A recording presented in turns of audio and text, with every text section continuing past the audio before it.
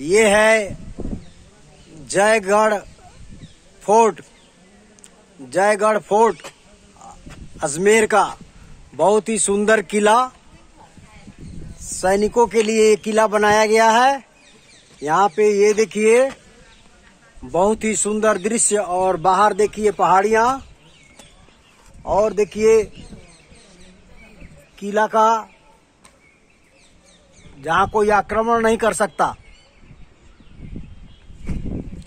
ये है जयगढ़ फोर्ट, जहाँ पे कोई भी आक्रमण कर नहीं सकता इस किला पे।